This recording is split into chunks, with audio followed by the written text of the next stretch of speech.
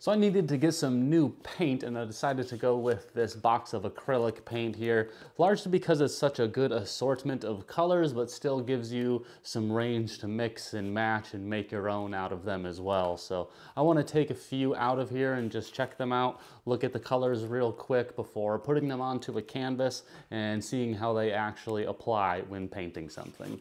So let's get a few of these out here. First off, they got a really nice white, and that's kind of why I bought this one too. I like that it had the white in there, just so you can like lighten up any color that they have in here already. Looks like this might be the black one right here. No, that's pewter gray. So that's got a real nice color to it. I love wearing like shoes in pewter gray and things like that. So, you know, I think that's gonna be really cool to paint with right there.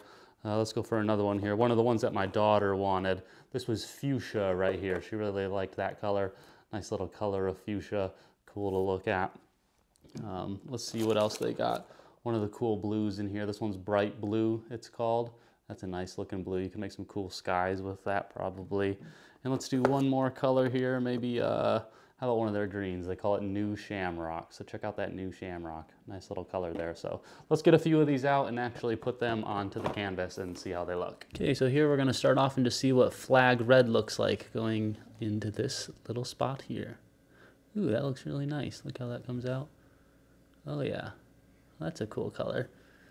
And again, you could add some white and lighten it up if you want, or you could darken it up with some of the other colors in here and too. You know, change it up a little bit if you want to. Can't wait to get that on the canvas though. Okay, so I'm gonna try painting here. This is the number four brush there. It's a really nice one, feels cool in the hand, so I'm gonna use this red paint here. So let's see how it goes on here. Oh yeah, that's nice. Have a good time. We're gonna paint Rudolph's nose. Okay, so here's the canvas. I'm gonna paint on a red nose here.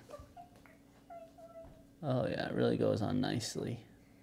My daughter painted that brown circle there. I think it's gonna be the outline to his head basically.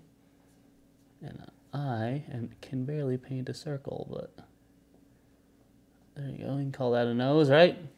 Looks pretty cool.